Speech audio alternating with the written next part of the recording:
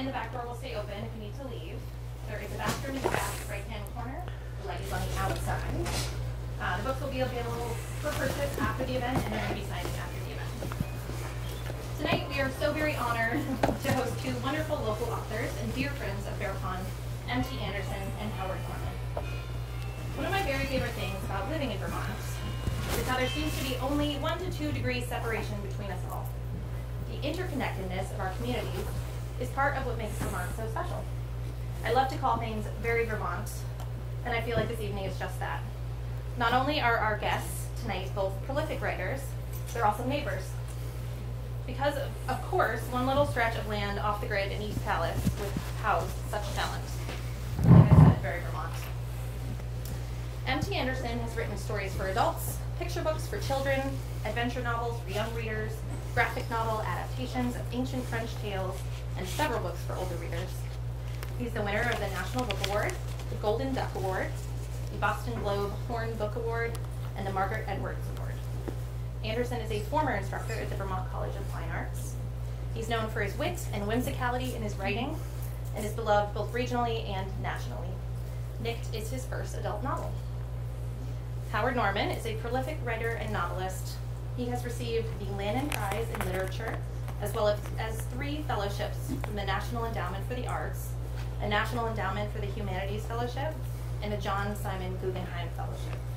Since 1988, he had taught in the MFA program at the University of Maryland. He's the author of numerous novels, three memoirs, children's books, graphic novels, and screen scenarios. He has twice been a finalist for the National Book Award in Fiction. Most importantly, he keeps us at Bear Pond caffeinated and spoils us with treats from Bohemian Bakery. he lives in Calais with his wife, Jane. We are thrilled to have you both here tonight and can't wait to hear about this wonderful book straight from the source. Please welcome M.T. Anderson and Howard Norman.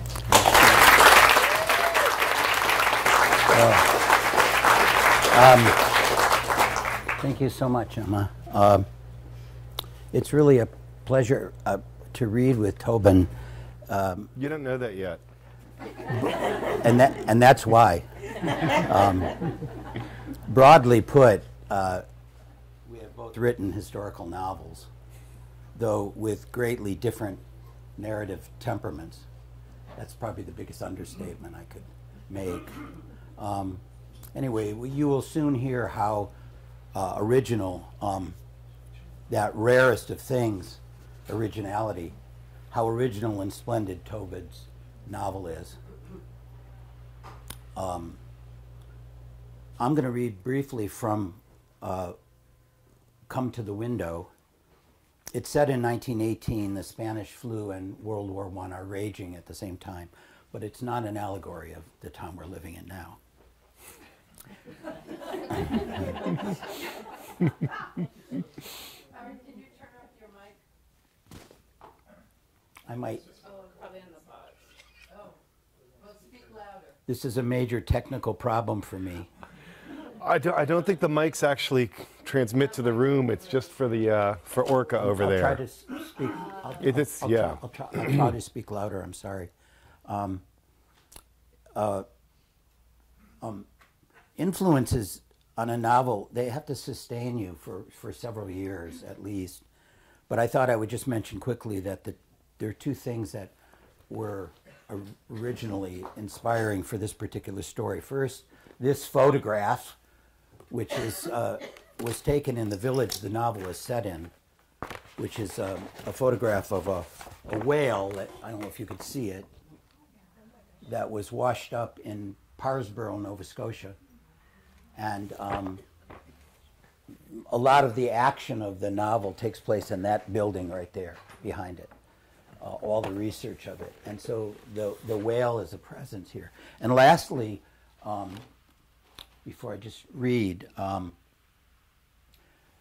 I was in a small village called Heart's Desire, and I was eavesdropping. And a man walked into a store and said to the owner of the store, um, "How is your life? How, how's life?" And she said, "It's as busy as a day in the Old Testament."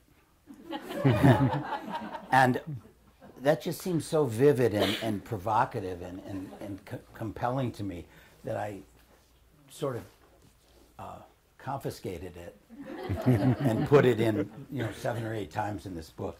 Um, because I just thought, you know, how busy was it in the you know, and but um, it was nothing. I so I said to her when the other guy left, I said, um, you know, I never, I never thought about how busy a day in the Old Testament was, and she looked at me and without any irony said, "That's about all I think about." okay. Um, I'll just jump right in.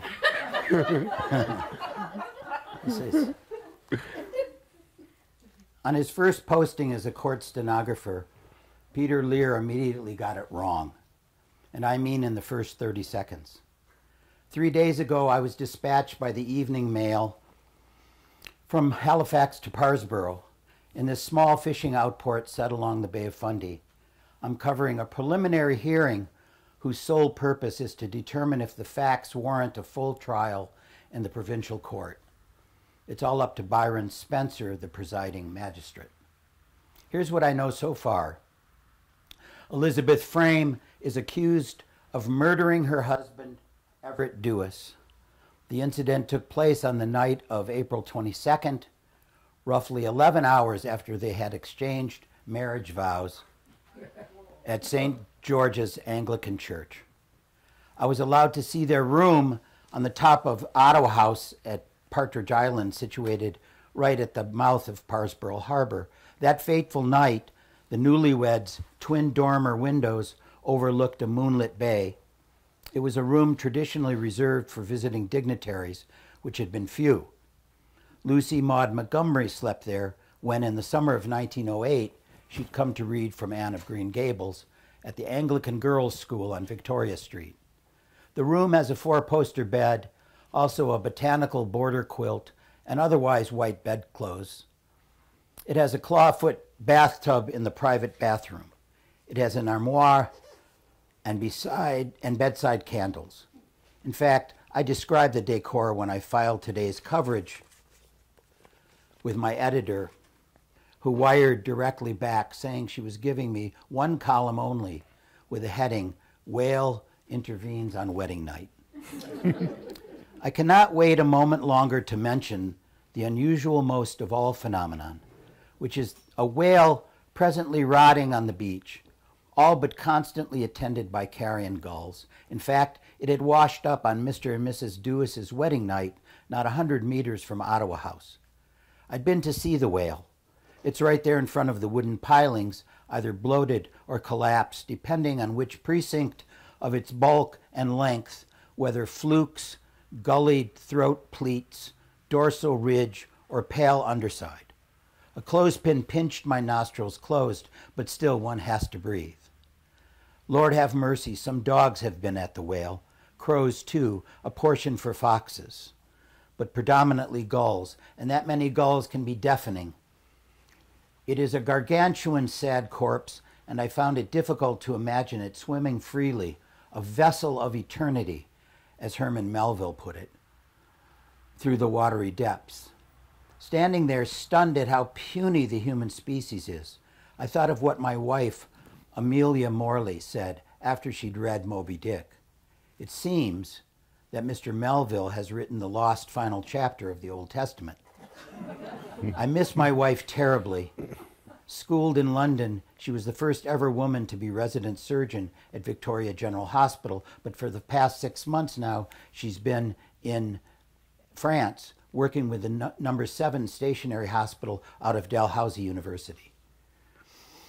Um, was followed by a long letter from her. The whale's eyes were filmed over. A local fisherman, Petrus Dollard, told me this past Sunday the whale's stench broadcast up to St. John's Anglican Church so that some parishioners departed mid sermon. Rector Thomas Shrivard was none too happy about it.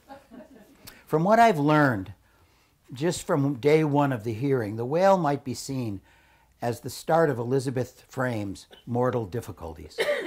What's more, I contend that the very sight of this whale summoned up dramatic aspects of Elizabeth's soul, mind, and spirit. Why do I suggest such a thing? Because in the witness chair, Elizabeth herself talked about her murderous act as if it was a biblical moment. For example, she said that she'd risen from the bed, quote, naked as Eve, looked out the window, and thereby saw the, quote, spectacle of a Leviathan as if torn from the book of Psalms. She then had studied the whale for a few moments, even said a prayer for it. And it was at this point, by her estimation, somewhere around 4 a.m., she had said, Darling, come to the window. A whale has intervened on our wedding night. But Everett Dewis refused her request, and a certain rage of disappointment overtook her.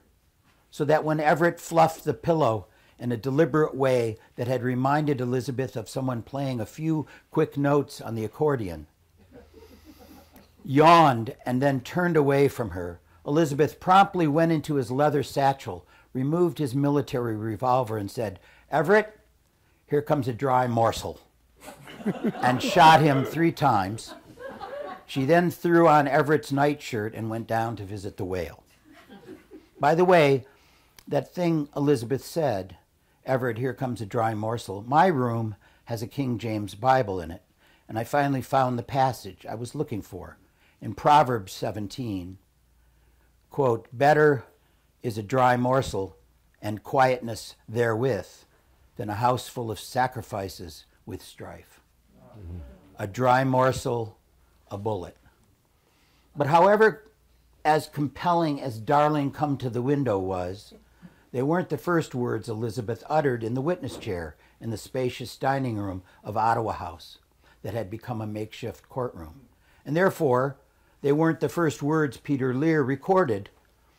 No, the instant she sat down, in the ladder back chair provided by Josephine hum- Huntley, the proprietor of Ottawa House, Elizabeth Frame, unprompted, said, The saddest part was just a few hours before I killed my new husband in our matrimonial bed, there had been contrapuntal moans. I doubt that Everett Dewis would have found that the saddest part. Obviously, in saying what she'd said, Elizabeth had outright confessed to the murder, and now all that was left was to hear how, and maybe a little of why, it had come about. It was as if everyone in the makeshift courtroom had to abruptly detour their curiosities from one mystery to another. I actually jotted down contrapuntal in my notebook and followed it with a big question mark. In my line of work, I'm hardly a stranger to the English language, but I had no earthly idea what contrapuntal meant. Apparently, neither did Magistrate Spencer. He was dressed in a well traveled black suit, white shirt buttoned at the neck, a lanky fellow, about age 55, I would guess, with a kind of asymmetrical face, decidedly more vertical in structure than rounded, a luxurious head of black hair, flecked white at the sideburns, very kind brown eyes, and spectacles. Anyway, Spencer stopped the proceedings. He turned to his assistant and said, Mr. Cousins, find me a dictionary. In about 15 minutes, Bevel Cousins, the assistant, had found a dictionary in the Anglican Girls' School and delivered it and delivered it to the magistrate. Spencer had remained seated behind his desk with his eyes closed. I thought he might be taking a brief nap, but more plausibly, that was how he retreated inward. Thank you, Mr. Cousins, he said, and then he paged through the dictionary. Finally, Magistrate Spencer said, Don't take this down, Mr. Lear. I'll tell you when to resume recording. I understand that you're the first male legal stenographer in the province. I believe that's true, Your Honor, Lear said. Well, well, Spencer said. How fortunate for us to have you. Thank you, Lear said. And is that the latest model of the universal stenotype machine? Yes, Your Honor, it is. And was it provided by the province, and did it come out of your salary? Yes to both, Lear said. Well, it's a handsome machine, Spencer said. It can spell any word in the dictionary to boot. Apparently, Magistrate Spencer had wanted to demonstrate his sense of irony.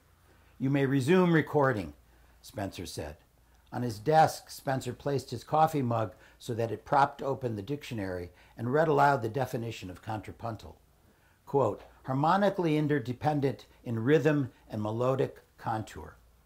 At which point, some fellow in the audience called out, Elizabeth, that word's going to keep me up all hours of the night.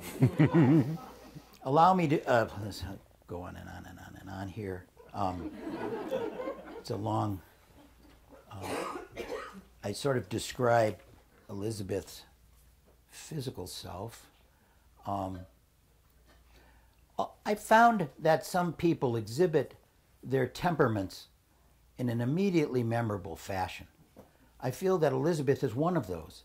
For instance, I learned from Bevel Cousins that in a preliminary interview, when Magistrate Spencer asked if her childhood was happy or unhappy, Elizabeth had replied, By this moody, tremulous ocean, I've always lived intensely.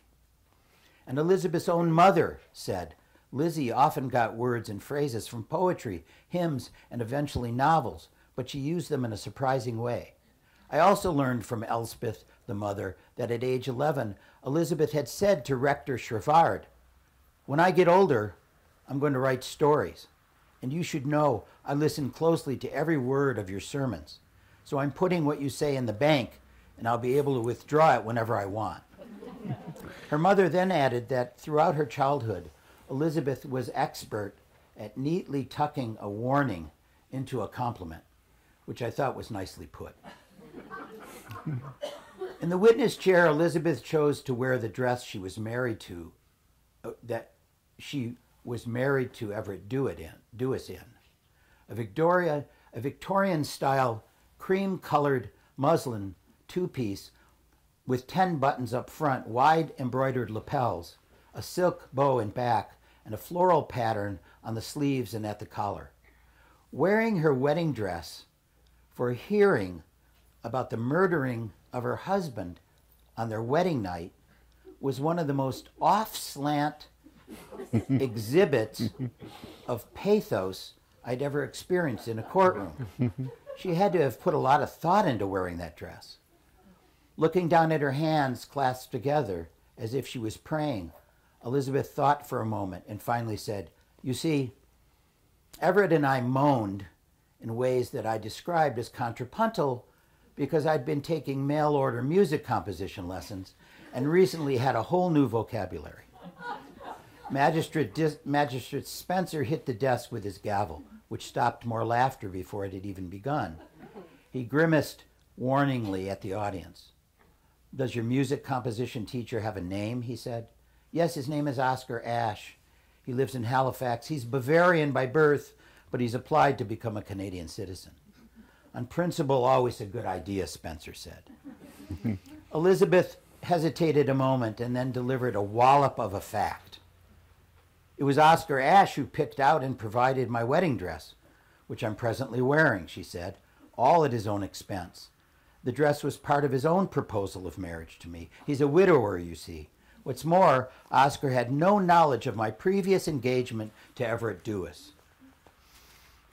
I'm sure none of this reflects well on me, but the dress fits nicely, don't you think? so I'm going to skip ahead, read just a short other section. Um, uh, magistrate says, Mr. Lear, please scroll back the tape and read the testimony from the beginning. I must confess that at this point, Peter Lear drew my utmost sympathy, and in fact, I cringed on his behalf when shortly after he'd followed Magistrate Spencer's instruction. Lear cleared his throat and, and read, quote, The saddest part was just before I killed my new husband in our matrimonial bed, there'd been contrapuntal moons.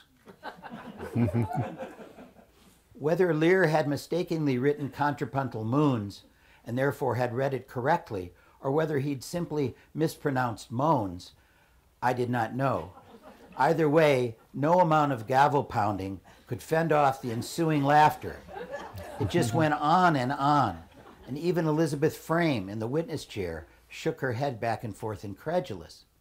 Peter Lear had in equal measure a look of despair and embarrassment.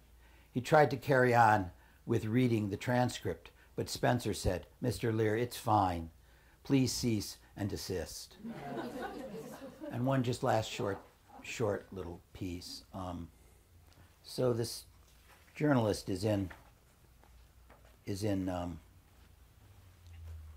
is going around and asking people about, you know, sort of what happened that night, and um, just have to find it. Sorry. Uh,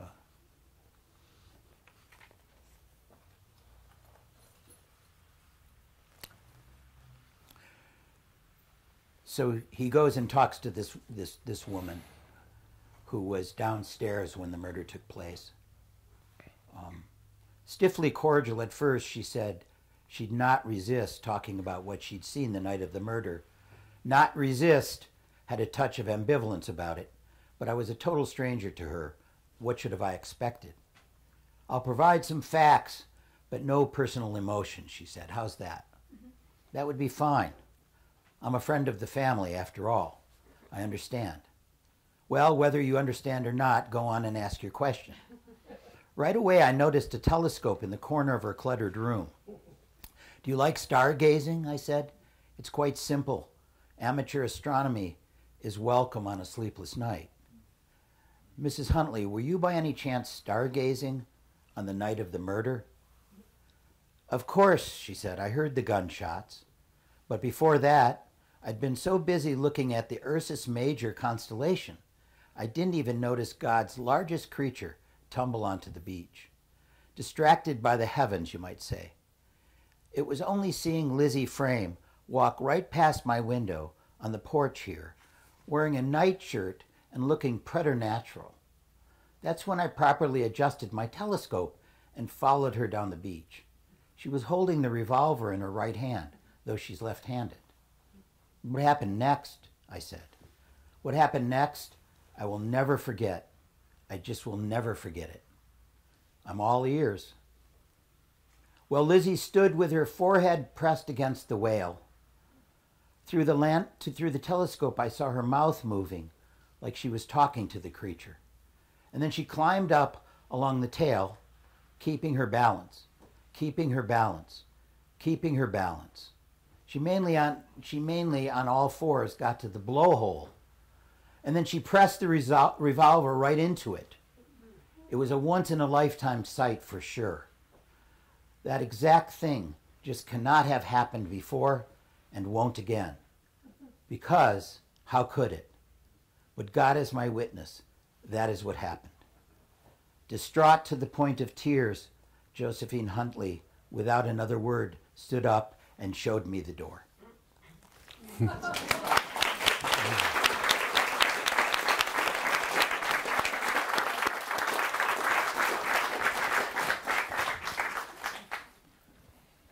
Well, that was super. Um, That and, is- that's it. one, one of the things that was so fun is that um, you would not believe how much of that is actually real and is taken from court transcripts, which uh, we should talk about in, Yeah. a, in a minute.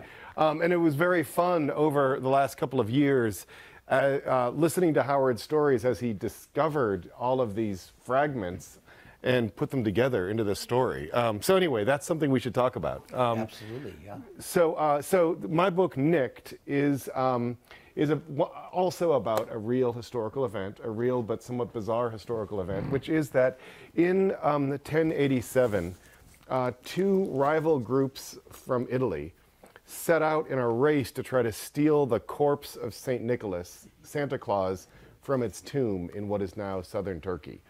Um, and uh, so it was the Venetians and this people from the city Bari in the south. The reason they were doing this, there are all sorts of reasons, but the, the most prominent was um, supposedly St. Nicholas's body exudes a, uh, a liquor that if you drink it, um, it will heal anything. So, um, for all sorts of reasons, they decided to, to bring this back as a, uh, you know, uh, as a prize to, uh, to Bari. And uh, so this book is, uh, is based on, on real accounts of what happened, though it, uh, it changes a lot of things to kind of like turn it into a more straightforward heist novel. Um, a heist, a monastic romance, also, you know, um, which um, you know, it's a it's a genre which I don't think is burgeoning sufficiently yet. Somehow there's not a big line of like, ooh, Benedictine romance. So I'm going to read right from the beginning, and then I'm going to read, uh, I'm going to skip forward uh, uh, to, to essentially the pitch that a, uh, the saint stealer actually gives to the people of Bari about why he should be hired to go steal the corpse. Okay? So here's the, the beginning, and I'll actually uh, stand for this, but um, you don't need to. Um, my, my mother is actually a priest, so uh, a lot of her stagecraft involves forcing other people to stand and sit at regular intervals, but I will not do the same. The monk heard that a ship had arrived carrying one of the dog headed people whom travelers speak of when they tell tall tales of the one eyed and the winged, and he went out to the docks to see if it was true. This is how he first laid eyes on the relic thief. This is how the voyage to steal the corpse of St. Nicholas began. In an age of sickness, in a time of rage, in an epoch when tyrants take their seats beneath the white domes of capitals, I call upon St. Nicholas gift giver, light bringer, wonder worker, who saved the living from drowning and pasted together the dead from their pickling jars, who even after death gave of himself in medicinal ooze. I ask St. Nicholas to tell us a tale to pass a winter night, so that when we rise in the morning, we may feel resolute in the new dawn. I will tell the story of the heist of St. Nicholas's body from its tomb. I will tell it as it was told to me by musicians and drunkards and guidebooks and lovers. Though I am an unbeliever, I pray for faith. So um, I'm skipping forward to uh, this is a scene where um, the, the powerful men of the city of Bari all gather to hear uh, the pitch of this saint stealer. And that's a, uh, someone who steals holy relics, that was a real profession in the Middle Ages, um, though this one is somewhat unusual. Um, the abbot was surprised to see that the man looked utterly unchristian. To the Normans and Apulians gathered there, his features spoke vaguely of the steppe, of the lonely, confusing distances that drew merchants east to God knows what scenes of barbarity. And yet, there was an impudence in his eye that challenged them all to question his religion. The archbishop was appalled. This is the man? Tell them, said the duke. The Tartar surveyed all the men in the room, the powerful Abari, and then he began. I am Tian, saint seeker, relic hunter. I have traveled from Kashgar to Zanj and served many princes of the earth and friends of Christ above. You claim you can get us Nicholas. This is, this is the moment. You are sure? Tian began his pitch. The Seljuks have swept out of the steppe and across the face of the civilized world. The Arabs and Persians have fallen before them. They have taken Khorasan and Khwarazm, and now they have pushed deep into Byzantium. A Norman said, Alas, Byzantium, with a titter. Tian smiled. Myra, where the blessed Nicholas lies, is in a state of chaos. The Byzantines, the Seljuk Turks, no one knows who rules that city now, or the whole state of Lycia. The coast there is in utter confusion. It would not be difficult to slip in, grab the corpse, and liberate the saint. Venice has asked me if I will go fetch the bones for them. This is the moment. In a few days, I set off for Lycia, and I will bring back the relics to Italy. He clasped his hands behind his back. If Bari does not want St. Nicholas, Venice does. The Venetians are bastards, a merchant clarified. You have asked us for twice what Venice offered you, said the Duke. It is an appalling sum. So you might ask why you would want the corpse of St. Nicholas, said Tian. The Normans waited for an answer. Saint Anastasia, Tian announced in a loud voice. Saint Anastasia was born without hands, the daughter of an innkeeper. She did what work she could with her sleeves pinned shut. One night, a husband and young wife came to the inn, seeking shelter, after a decree had gone out from Caesar Augustus that all the world should be taxed. The wife was pregnant, there was no room in the inn. I presume you've heard this story. they slept in the stable. His audience gaped. In the night, Anastasia, daughter of the innkeeper, woke. There was singing and the tolling of celestial bells, sort of like your cell phone. Um, there was light coming from the stable. She rushed down to investigate, worried about fire. Instead, she found a glowing child laid in a manger, no crib for his bed. She knelt before him. She wished to bathe him as the midwife would do, but she had no hands. The Blessed Mother picked up the child and laid him cradled in Anastasia's arms. Anastasia wished with all her heart that she could care for the babe as the Virgin slept. And lo, An angel came out of heaven and delivered her a pair of hands, white as lilies. With these hands she tended the Christ child through that long winter's night, as ox and ass stood by. Chia looked upon the sitting Duke and his rapt company. I recovered St. Anastasia's hands. There was an appreciative murmur from the Normans. They were of ivory and set with jewels and rare teak. I found them in a treasure house in the Maghreb. I penetrated the fortress, slipped the hands out of the vault without detection, and delivered them to the Church of St. George in Fraxinetum. Within three months, Fraxinetum was drawing 500 pilgrims a day, ships arriving from all over the world, caravans coming from uh, the Alps paying imposts. The city has repaired its walls and built a shrine. This is the power of a holy relic. Nods of reluctant approval all around. Consider what a saint can do for a city. Venice wants to hire me to, to fetch Nicholas, but Venice, Venice already has Saint Mark, an evangelist, one of a set of four. Uneasy looks among the Normans. And they don't just have St. Mark, also St. Athanasius, St. Zacharias, and the foot of Catherine of Siena. The treasure hunter was now prowling between the men, restless with the energy of expertise.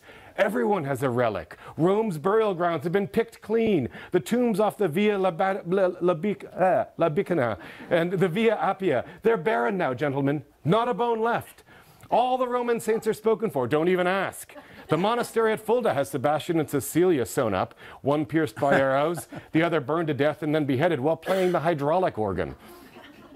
Sure, Fulda has only a few shreds of Cecilia, but they also have Urban, Felicity, Felicissimus, and Emerentina. They have Boniface, Cornelius, Callistus, who was buried right next to Cecilia, and Columbanna. He spoke these names directly into the faces of the astonished merchants, smacking his hands together with each martyr. Agapitus, Georgius, Eugenia, Maximus, Vicentius, and Emerentina. I got them Columbanna. Fulda is a most prosperous abbey, said the archbishop in a fever of longing. Constantinople, continued the saint hunter, seat of great Byzantium, has the true cross, of course, and also the two more disappointed crosses the thieves hung on. they have the body of the prophet Daniel, the robe and girdle of the Virgin Mary, the hair of John the forerunner, and the rod of Moses.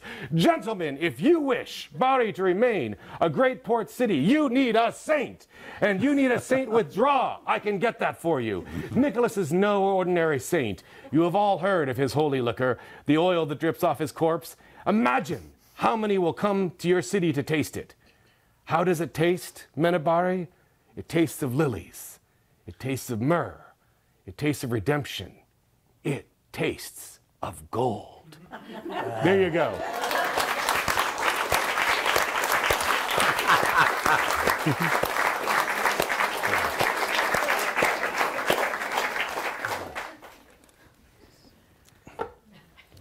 So here we are.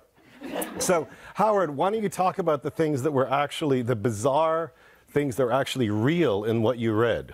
Yeah, I, I've never really understood, in all honesty, I've never really understood um, the difference between nonfiction and fiction on, on, on some level, on some essential level. Because if you kind of coordinate um, uh, disparate elements and choreograph them, it, it all depends on just how well you describe things. But I would say in this short novel, I did very little imagining. Uh, I mean, I think one stops researching when one finds that what you're finding out starts to trespass on what you imagined might have happened. Mm.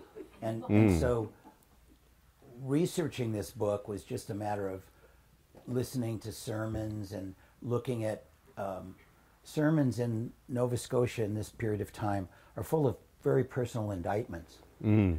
You know, I, I love this. You know, where ministers are would get up and say things like, "We all know who I'm talking about," and I, I just found the transparency of that very compelling. The murder itself was uh, all true. It's all in Nova Scotia Archive. The murder of, of, of her husband. And you you literally did read the court records. Oh yeah. Yeah, yeah, yeah. You should know that. Yeah. The court read that. I didn't know what contrapuntal meant till I read the court records. and I'm not suggesting that there isn't a lot made up. I'm just suggesting that with some books, there is just so much that's going on that, uh, I mean, needless to say, what you just read, any one uh, moment of dialogue um, can stand to represent a larger circumstance. And, um, you know, Nova Scotians, I would say generally, are very understated. The, the, the, the understatement um, ends up to be much more than irony. Uh, and so I just like to have people. My belief is that people are capable of saying almost anything to each other, and and if you can capture some of that, they your characters get to report what your research is. So that that's just the way that I like to work. But uh, you're right, Tobin. In this book, as you know, because we talked about it so often, um, uh, and so when when I when I've read your book in manuscript and I've read it several times since, I really realized that it really doesn't matter what happened and what didn't happen. What matters is verisimilitude, just the sense of well, it it could have happened, and I'm going to describe it as best as I can. And a lot of people would not agree with that. They would write a different kind of fiction, and they would differentiate between um, fiction and, and, and fact. Uh, and um, you know, and and that's just how it works with with with what I like to write. So it's I don't really like the term world building, but I think both of our novels do that in a sense. Yeah, um, and so I mean, for me, the the mingling of fact and fiction was partially that. I mean, yes, I was trying to create a, a, a trashy adventure novel, so there was the that kind of like uh, you know uh, deviations that that necessitated. But it was also I wanted to kind of like I wanted it to be a historical novel that takes seriously the fact that medieval sources have a different sense of reality than ours. So it's so interesting that if you say a nonfiction source from the Middle Ages is absolutely going to include um, the miraculous, for example. And, um, and you know, it's a lot of sources that provide important information about, uh, about social history or battles or whatever are, you know, a lot of them is hagiography, like saints' lives. So, you know, the thing that's most important to these those authors is not the fact that, you know, like grain ships happen to carry this much grain across the Mediterranean or something. No, what's important to them is obviously that this figure brought someone back to life. You know what I mean? So it's really interesting the fact that we talk about this, these, these nonfiction documents of the Middle Ages, shedding huge portions of them because we happen to not believe in them. So I was like, no, I'm going to write a goddamn historical novel based on exactly, like, I'm going to take seriously everything that medieval nonfiction assumes. So, for example, you know, like I mentioned in the bit that I read about the Seljuk Turks sweeping over the um, over Anatolia, essentially, um, we have almost no documentation of that, despite the fact that we know it happened. But we have a huge amount of documentation about the fact that there were dog-headed men who lived in mountains to the east. Um, and interestingly enough, the Chinese actually described the same dog-headed mountain living in mountains to the west. So I feel like somewhere there, you know, right? So, um, like, so part of my part of the thing was I wanted to present just like yeah, nonfiction, uh, like a, th- to take seriously their nonfiction and to write this novel as if um, I was approaching that with exactly the same kind of like verisimilitude that I would um, when other people do novels about, you know, that, that um, uh, uh, you know, with, kind of blander takes on history. Yeah, That where, exactly. where you discard the part that makes you uncomfortable because it's clearly not your belief system. I you know? couldn't agree more. I mean, I think you know a, a great linguistic crime against humanity, uh, which to me warrants a lifetime in prison, came from Kellyanne Conway, with her with her statement. I'm I'm not going to apologize for my politics. Uh, it came from her statement, alternative facts. the minute she uttered that, uh, I, I just felt like this is about the worst thing you could hear. Wait a second, haven't we both just said that we actually are committed to them? Then to this is the, alternative facts? and this is the reason why that a good novel, I don't. I mean, this is why War and Peace is. When you go to Europe and places like that, War and Peace is often in the in the history section. It's verisimilitude. It presents something, um, and but you know these are the workings of a of a narrative imagination, not um, an alternative. I I, I really think that um, what you've done with the novel is created the actual sensibility of a time in which things we would have to suspend disbelief about, they didn't. It was just quotidian thinking. And that's good historical writing, it seems to me, or good historical novel writing. I, I would hope so. Yeah, Um, so- but uh, now, um, there were points in the comp- uh, before, but just before the composition of this book, when you talked to me about the possibility of doing it as a nonfiction book. I wrote it originally like that. okay, so what happened? What like? Well, I, I gave up on writing novels, and um, then, uh, or gave up, but just decided. You know, I I felt redundant, and, um, but then, uh, I had it as a nonfiction book. I just described everybody in that photograph. I researched everything, and then I read it, and it was just uh, loathsomely tedious because I thought, I thought, I mean, yeah, who said that? we'll talk later. Um, because I just thought, you know, okay, this this stuff actually did happen, and there was this murder, and here's the court case, and I had it all together. You know, it was three times longer than this book, mm-hmm. and I just thought it's going to be far more interesting to try to write it as a story. It was just as simple as that. Um, and but maintaining most of the factual parts. Well, like for example, the line that gives it its name, she actually said just before she shot Come her to the husband. window, which is a quote from from a um, a uh, poem. Some of you might know it. I'm sure that some of you do. Um, Come to the window, sweet as the night air. It's from Matthew Arnold. And um, you- you- from Dover Beach, exactly. Thank you. Yeah. Oh, I, which I didn't recognize, but that, like that's such a perfect connection too, in that they that there is that sense then of like uh, wartime turmoil out there in the sea that's rolling in in that poem. Like the the, the uneasiness of the sea Yeah. becomes the Yeah. yeah yeah yeah yeah. Yeah, that's and so it um, uh, that you know I got a letter from somebody who'd read this book and a woman and she said um, uh, it seems outlandish that somebody would invite their husband to look at a whale and he wouldn't come and she kills him. It seems outlandish, she said. But now let me tell you about the argument that ended my marriage. Oh. And she went on for two pages describing essentially essentially the same thing. Wow. There's no whale and there was no murder. But essentially the same thing where she felt like um, who are we if we don't have the capacity to see that something means something to another person in that moment? Who, why stay with somebody who would ignore that?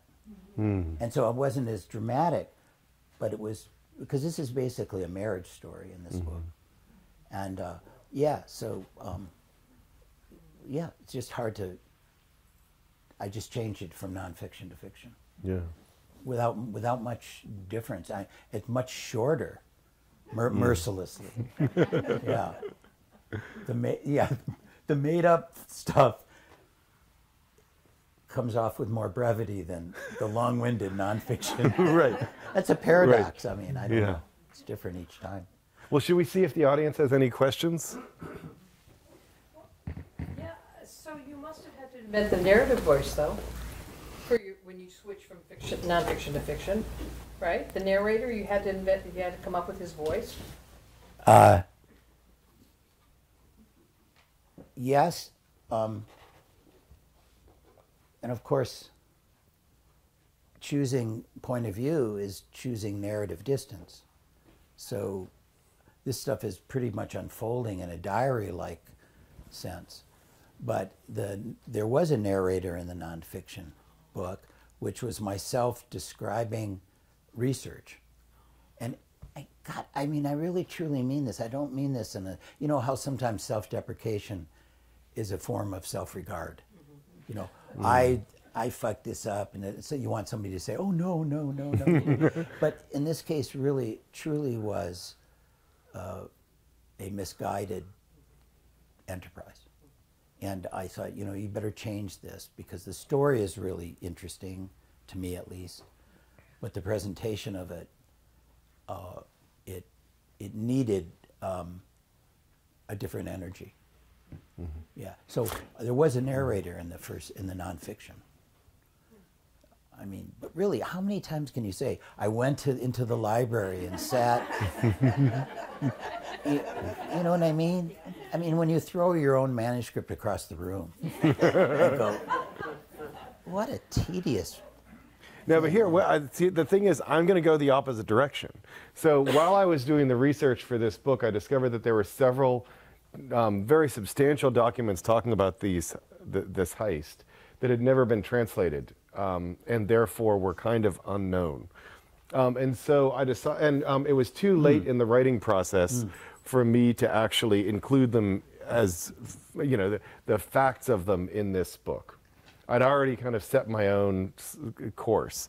So I am actually doing a nonfiction book, which will be published for teens, about the heist. That's going to be, oddly enough, a very different story, uh, because I discovered so much from the this sort of treasure trove of documents Oh, really? after Yes. I did the Oh, no yeah. kidding. No So kidding. um, so I'm going to produce the long-winded.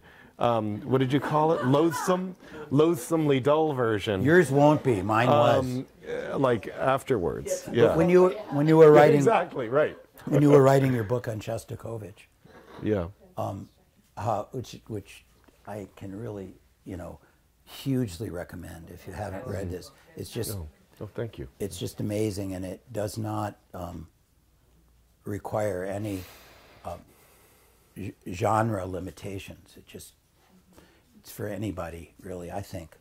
Um, how conscious were you of staying to not the chronology of the life, but of facts?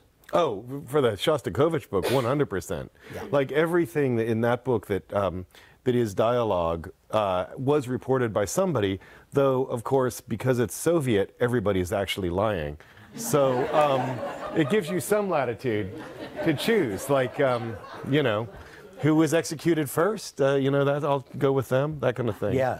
Yeah. Yeah. But, um, but I mean, if you put two things together, something that happened on March 1st and something that happened on March 3rd, and you you you put those together as if it all happened on one day, I don't do that, though. how, that, how I don't, important yeah. is that? I don't think it's important at It's all. not important, but I still would not do it in a nonfiction book.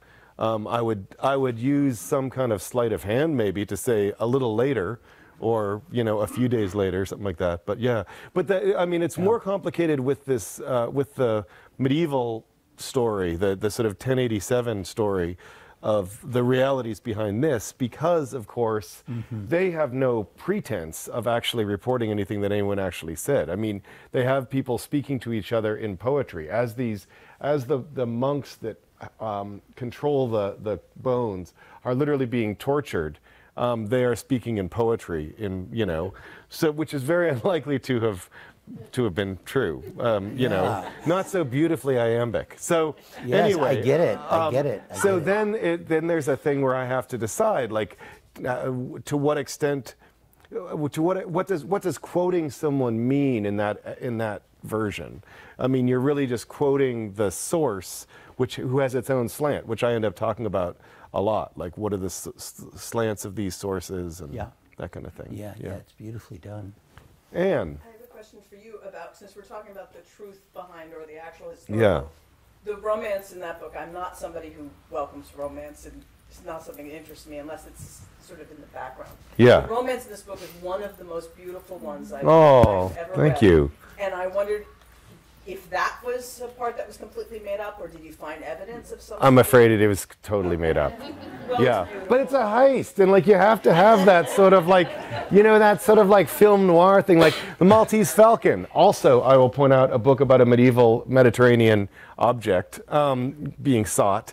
Um, the Maltese Falcon, for example, all these things, you always have the sort of like the client and the detective with this sort of like uh, attraction, but they might betray each other.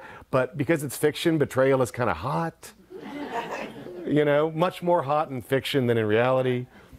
But yeah, um, so no, that was made up. Uh, yeah, absolutely.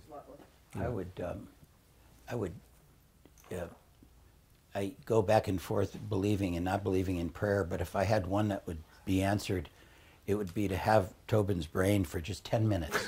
that's, that's all I would ask. It's that that seems very, I very would just like to have very that. overrated. You know, I- just, just, okay, you, fit. you should really come up with a new wish before no, you're no, on the that's, spot. that's, that's, 'Cause, that's my uh, wish, and I'm not going to change it. I'm not going to change it.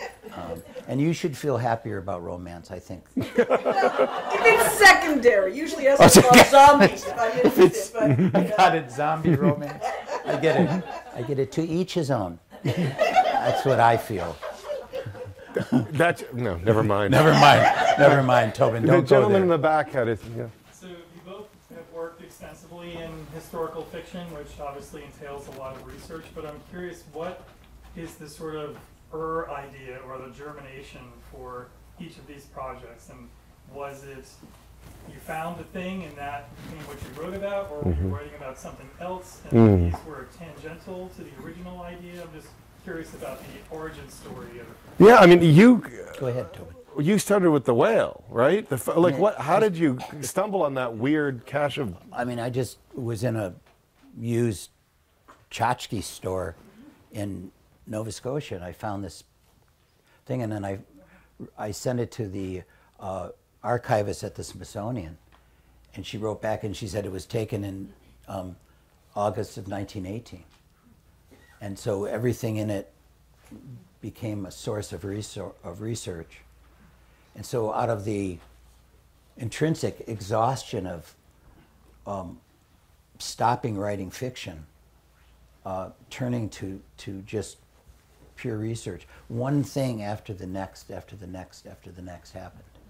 And one of the things that I was astonished by was just how devastating the Spanish flu was in, in the Maritimes. But then when you think about it, it's a place where ships are constantly arriving. And so, you know, you, you, it, it, it just simply is cumulative. You get a little spark and something that, um, uh, you know, I guess in Yiddish it would be uh, the thing that the thing that won't leave you alone. It just won't leave you alone. It keeps accumulating around it, and um, so the inspiration was not certainly a complete tale or story. It was little snippets of things. Well, but Howard, I mean, also you did discover that there was a murder committed on the On the same day. on the same day the Yeah. whale washed ashore. I mean, this is not just So like I, I, I think. Yeah. I mean, I, I know. Um, that's pretty I've said- amazing. I said this. I, I feel like only in Howard Norman's world would that would you just go like, hey, where did this whale photo come from? And then there's like a, a Yeah. weird, like a murder that actually quotes Matthew Arnold happened the same night. Yeah. You know what I mean? I love the archivists at, um, at the Nova Scotia Archive in Halifax because they get involved with your work. They, they'll call you in the middle of the night and say, I don't know if this is of interest to you, but I go, Are you kidding me? This is fantastic. And how many archivists or do that? I mean, they, the thing you're interested in, they get interested in. And so I think, you know, they, it's not that they co-write it, but they, they keep feeding uh, you with stuff. And, um, but how do you coordinate such disparate elements? I guess that's another question with, with all the research in this book. I mean, the first thing for me was as a teenager, I really loved uh, singing. I loved classical music.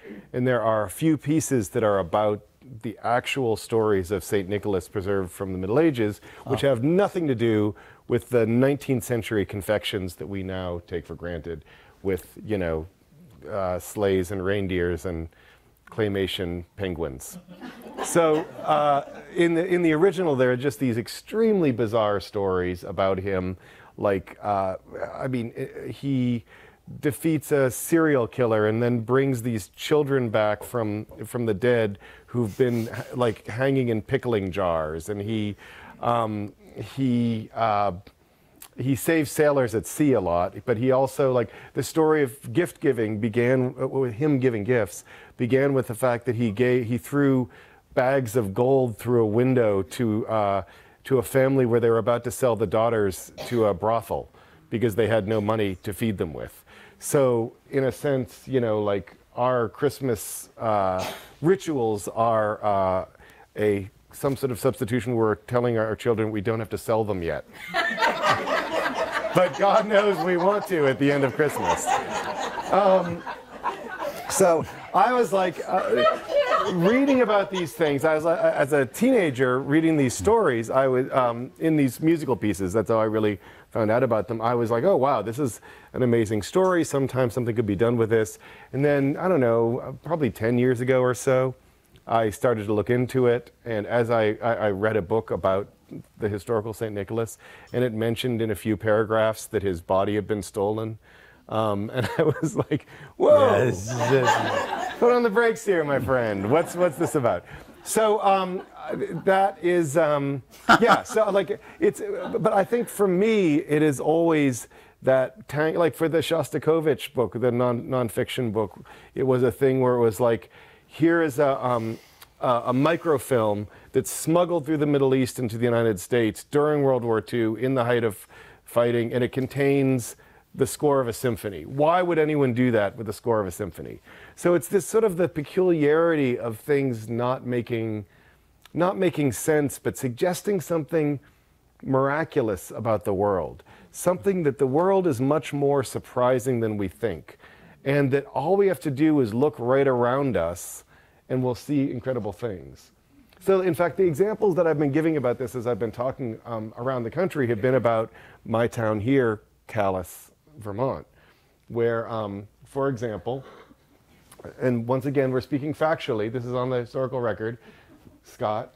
Um, but um, so, like a, uh, there's uh, in, in North Calais, there's a house that's haunted by a ghost with a rubber nose. So the story is that um, a horse bit off the guy's nose. He had it replaced with rubber. Uh, his wife was uh, unattracted by it, so she had an affair with the uh, the postman. But because it was Calais, the postman just lived four doors down.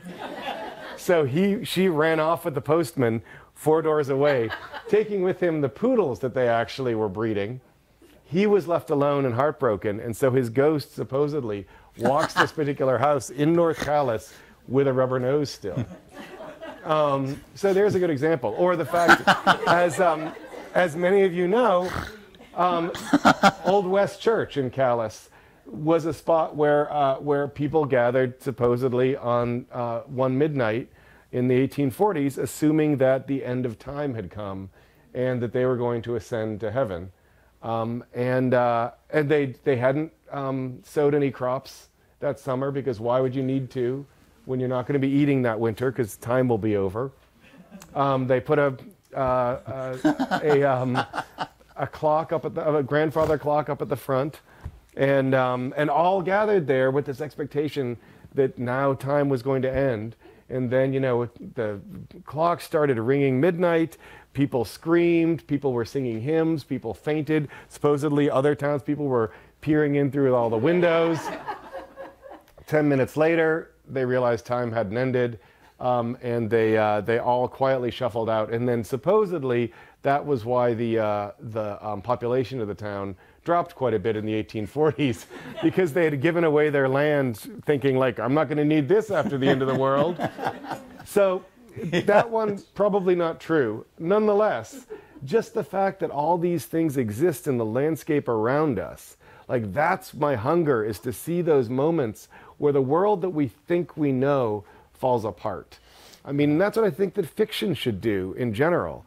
Like to, to, to take us away from what we know long enough that we can actually see with new eyes the things we become too used to. The, the, all of the spots that we pass on our, on our drive into town, into Montpelier, God knows, just they all fly by. They're no longer beautiful. They're not ugly. They don't exist at all. Suddenly something changes in that landscape, and you're like, oh, wow, I live in a beautiful place. It's, I'm glad that I'm here. Or to quote the name of one of uh, Howard's book, books, um, I, uh, I hate to leave this beautiful place. It- It's, it's all strikes the deepest chords with me, Tobin. Um, I, I will confess one thing though. I, um, I had an out of town visitor, a guy who, um, within 20 minutes of being in the car with him, I realized that he was, um, you know, ha- had a severely limited um, sense of irony and imagination, and and I was so and I was so disgusted with myself volunteering to drive him around for four or five hours that I did something that does not reflect well on me at all. I, probably most things don't, but I um, I, I made a I, I said you know there's a gravestone I'd like to take you to. It's up uh, in the Northeast Kingdom, and it's um, just a terrific gravestone. Uh, and it is a um, a widow's lament. And I told him what it was, and he said, "That Howard, that is just bullshit." and then I knew the best thing to do was make a bet with him. So I bet him five dollars, sort of gas money. And this gravestone um, is the dates of a man's death and a little quote from some biblical quote.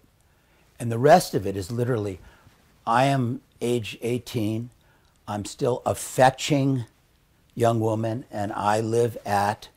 It actually has her address. It's a it's like a dating site. and and I just was so excited to to win this money because I knew this guy would not have any imagination, could not believe it. Yeah. And um, it was such a delightful moment to see him peel off a $5 bill and hand it to me. But that's what I mean. That stuff, if you just look closely enough, exactly what you're saying, Tobin. And then you startle yourself out of the ordinary, and that's really important. Absolutely. Yeah, I agree 100%. And I think that that's probably a place we should close. And if anyone wants to ask questions or sign, have things signed, we would be delighted to do so. Thank you all very much for coming.